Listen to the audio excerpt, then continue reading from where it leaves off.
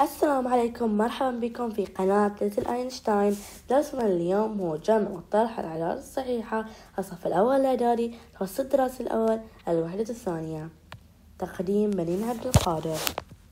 تذكر أن قاعدة الإشارات للجمع والطرح هي سالب مع سالب يساوي سالب وأجمع وموجب مع سالب يساوي إشارة الأكبر وأطرح.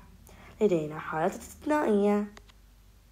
سالب مع ناقص تستوي الجمع تتحول إلى الجمع.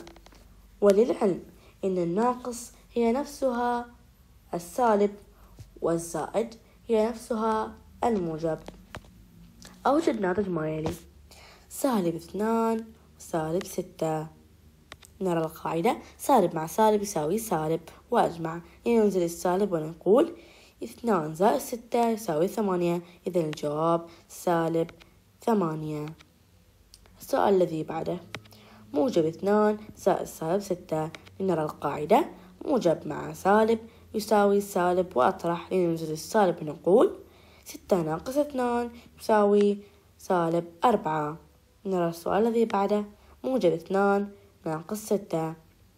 نقول أنزل السالب وأقول ستة ناقص اثنان يساوي سالب أربعة. السؤال الذي بعده.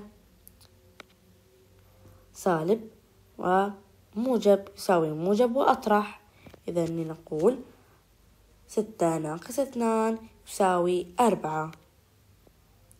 السؤال الذي بعده. لدينا حالة استثنائية. الناقص مع السالب. اثنين ناقص سالب ستة. سيتحول إلى الجمع اثنان زائد ستة يساوي ثمانية. نتدرب يا أصدقائي صغار أينشتاين الرائعون.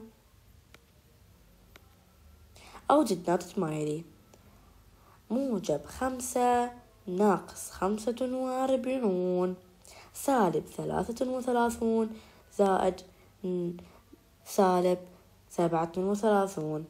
لدينا حالة استثنائية ستة. ناقص سالب اثنا عشر هيا نحل الأول هو موجب وسالب يساوي الجواب سالب وأطرح. إذا الجواب سالب أربعون. السؤال الثاني سالب وسالب يساوي سالب وأجمع. إذا سالب ثلاثة وثلاثون زائد سالب سبعة وثلاثون هو الجواب سالب سبعون. السؤال الأخير. لدينا حالة استثنائية سالب وناقص تحول إلى الجمع. ستة زائد اثنى عشر ثمانية عشر قيم إجابتك. درجة. درجة. ودرجة. اكتب كم حصلت من ثلاثة في التعليقات وإذا أخطأت في الحل فلا بأس. لكن شاركنا سبب أخفاقك لنتعلم معا من أخطائنا. إلى اللقاء.